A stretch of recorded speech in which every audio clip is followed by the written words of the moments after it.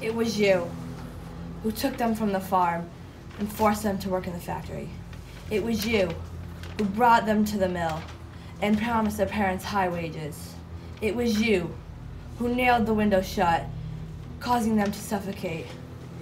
It was you who polluted the air and did nothing about it. It was you who made them sign and commit to suffering for a year.